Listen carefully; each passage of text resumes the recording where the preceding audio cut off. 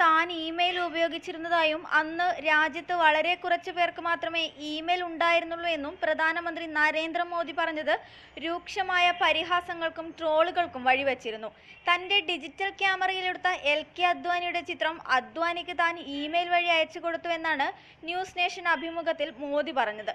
എന്നാൽ ഈ അവകാശവാദത്തെ പാടെ തള്ളിക്കളയുകയാണ് രാജ്യത്ത് ഇന്റർനെറ്റ് കൊണ്ടുവന്നയാളായി അറിയപ്പെടുന്ന മുൻ ഉദ്യോഗസ്ഥൻ B K Singhal.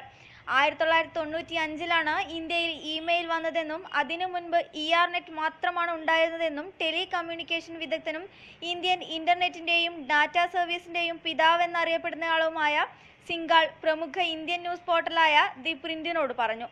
E R net രാജ്യത്തെ ചുരുക്കം ചില ഗവേഷണ സ്ഥാപനങ്ങളിലും ഉന്നത വിദ്യാഭ്യാസ സ്ഥാപനങ്ങളിലും മാത്രമാണ് ലഭ്യമായിരുന്നത്. മോദി ആയിരത്തി തൊള്ളായിരത്തി എൺപതുകളിൽ ഇന്റർനെറ്റ് ഇന്ത്യയിൽ ഉപയോഗിക്കാനുള്ള യാതൊരു സാധ്യതയുമില്ല. ആയിരത്തി തൊള്ളായിരത്തി എൺപത്തി ആറിൽ താൻ ലണ്ടനിലുണ്ടായിരുന്ന സമയത്ത് ഇന്റർനെറ്റ് സേവനങ്ങളുടെ വില വലിയ തോതിൽ ഉയർന്നതായിരുന്നുവെന്നും സിംഗാൾ പറഞ്ഞു.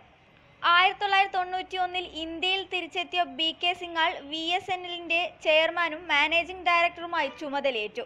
ആയിരത്തി തൊള്ളായിരത്തി തൊണ്ണൂറ്റി മൂന്നിൽ രാജ്യത്ത് ഇന്റർനെറ്റ് സേവനങ്ങൾ ലഭ്യമാക്കുന്നതിനായി ബി എസ് എൻ എല്ലിൽ കേന്ദ്ര സർക്കാർ സമ്മർദ്ദം ചെലുത്താൻ തുടങ്ങി. ആയിരത്തി തൊള്ളായിരത്തി തൊണ്ണൂറ്റി അഞ്ചിൽ രാജ്യത്തെ അഞ്ച് നഗരങ്ങളിൽ ബി എസ് എൻ എൽ സ്റ്റേഷനുകൾ സ്ഥാപിച്ചു. മുംബൈ ഡൽഹി ചെന്നൈ കൊൽക്കത്ത പൂനെ എന്നിവിടങ്ങളിൽ. ഇന്റർനെറ്റ് ഇന്ത്യയിൽ ഔദ്യോഗികമായി ലോഞ്ച് ചെയ്തത് ആയിരത്തി തൊള്ളായിരത്തി തൊണ്ണൂറ്റി അഞ്ച് ഓഗസ്റ്റ് പതിനഞ്ചിനാണ്. കോർപ്പറേറ്റ് ക്ലയന്റുകൾക്ക് ചിത്രങ്ങൾക്കും ടെക്സ്റ്റിനുമായി പ്രതിമാസം ഇരുപത്തയ്യായിരം രൂപയും വ്യക്തികൾക്ക് പതിനയ്യായിരം രൂപയുമായിരുന്നു അന്ന് നിരക്ക്. ടെക്സ്റ്റ് മാത്രമാണെങ്കിൽ വ്യക്തികളിൽ നിന്ന് അയ്യായിരം രൂപയായിരുന്നു ഈടാക്കിയിരുന്നത്.